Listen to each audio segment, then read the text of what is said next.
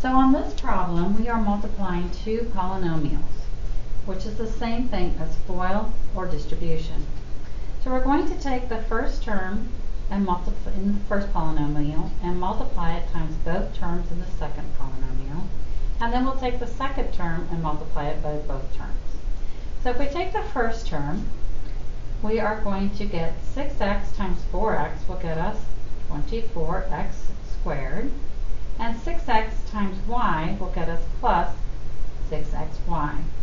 Then we take the negative 3y and multiply it times the 4x, and we'll get minus 12xy.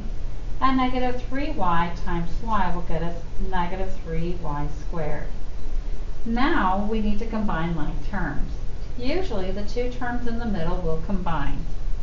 So we've got 24x squared plus 6y, xy minus 12xy will get us negative 6xy minus 3y squared.